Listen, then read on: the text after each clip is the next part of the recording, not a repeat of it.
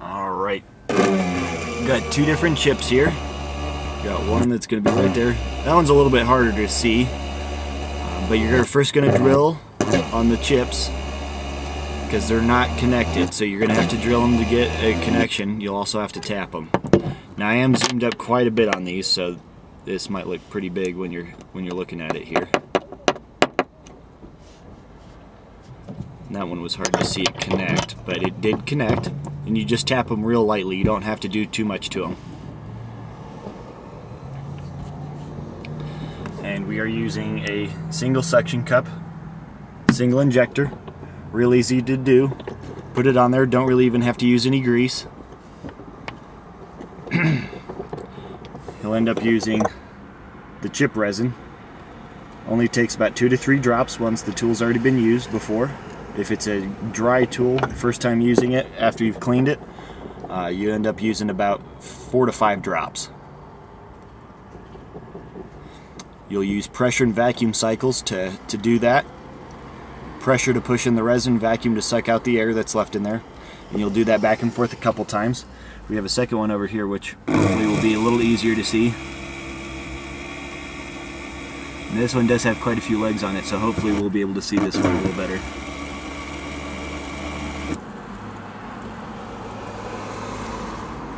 And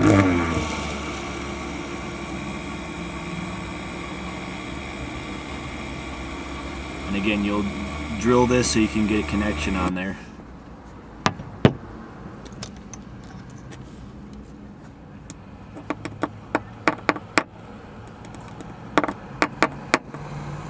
Hopefully you can see it, see that happening. The nice thing about the system is you can go back and forth and do multiple repairs at a time.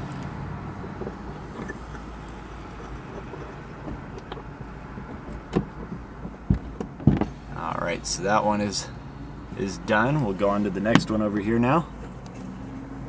Doesn't take very long for that to cure. Only a couple minutes. If it's overcast, sometimes it can take an extra minute or two.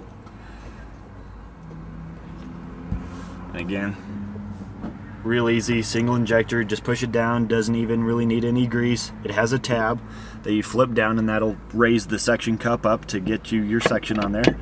Put a couple drops in the tool, do some pressure and vacuum cycles on there. You could even do multiple tools if you wanted to.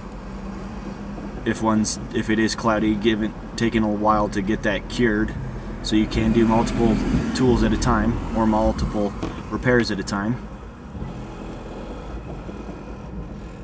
This one had a unique break with having multiple legs on it, so we ended up drilling it in two different spots to get it all connected. Most of the time you don't have to do that, but occasionally you do. Using the paper towel will also, uh, like he has it, block the sun and help give you a little bit more time if you do need it to, a little more time to finesse it. Sometimes cracks and chips can be a little bit picky, so sometimes you need to give yourself a little bit extra time.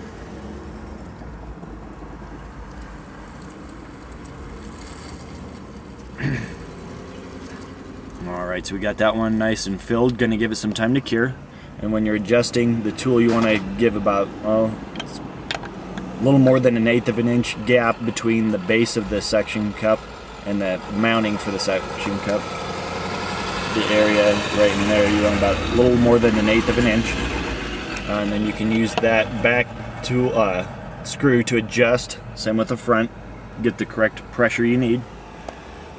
Alright. That plastic tab is just covering that up with some pit filler. That pit filler is just going to fill in any missing surface glass from when the rock actually impacted it. The pit filler doesn't take very long to cure, usually only about 30 seconds or so. And while all of this is going on, you can have your customer be filling out the information on your paperwork and calling it in.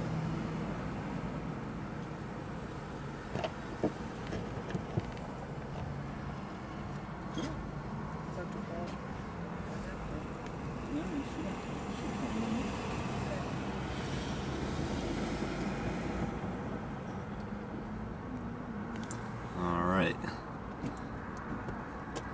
That one turned out pretty nicely. You can see we haven't scraped off the excess pit filler on there, but that one's done and cured. Same thing, just put on the cure tab, little pit filler, flatten it down, let the sun cure it. Just back those off when you're ready to to take the tool off. You also want to back off the injector, otherwise your excess resin will spray everywhere, as well as your O-ring most of the time will pop out of the tool. So you want to back off the pressure off of it before you remove the tool.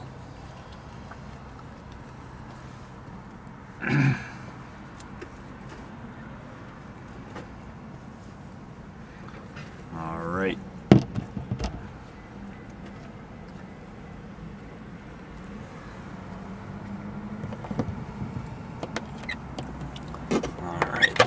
then he just scraped off a little bit of the excess around it and then goes back and forth to remove the top layer. Makes it flush with the windshield. See it on this one. See just taking off the excess around it. And just scrapes off the excess. Again I am zoomed up on these chips quite a bit so when we're all done I will back off and show you from the seated position area what you would normally be seeing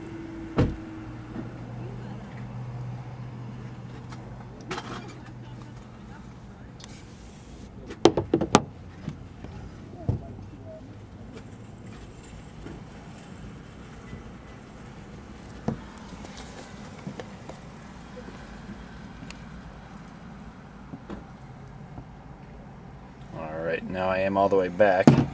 See those two little dots on there. That's just a little bit of polish. Help cleans up the pit filler. That's usually what you're going to notice the most.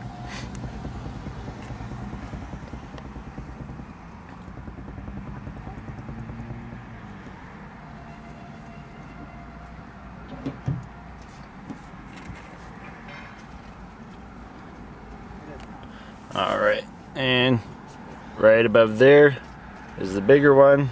Hard to see.